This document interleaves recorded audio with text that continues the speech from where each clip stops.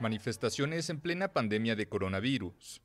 El presidente brasileño Jair Bolsonaro asistió el domingo a una concentración de unas 600 personas que rompieron la cuarentena y se reunieron frente al cuartel general del ejército en Brasilia para pedir una intervención militar y el cierre del Congreso. Bolsonaro critica constantemente a los líderes parlamentarios, a los gobernadores y alcaldes que defienden las medidas de cuarentena y distanciamiento social para contener la propagación de COVID-19. En Brasil, la enfermedad ya deja más de 2.400 muertes y casi 40.000 contagios.